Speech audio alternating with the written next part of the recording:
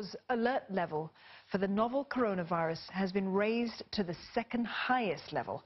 The disaster outbreak response systems condition, otherwise known as... My fellow Singaporeans, good evening.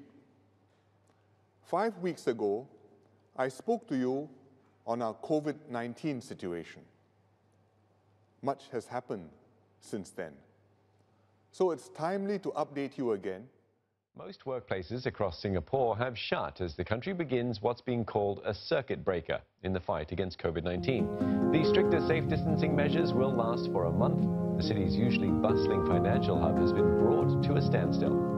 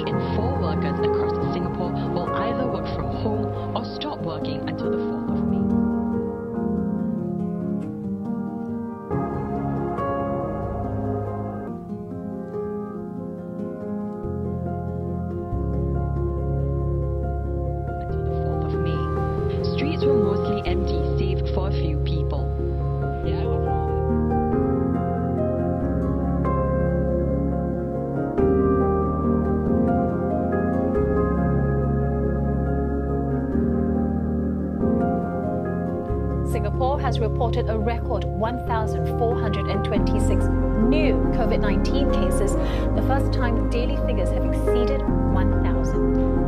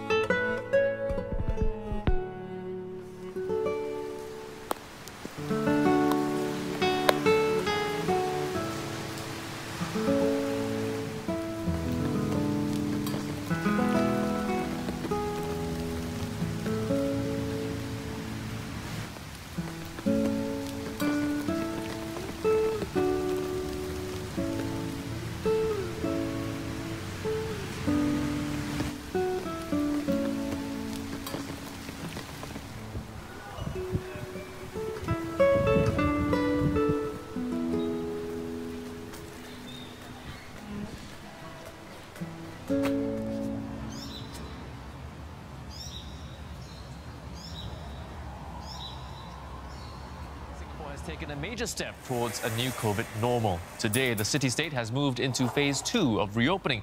Many aspects of everyday life are now back on the agenda. People have been flocking to hawker centres and restaurants.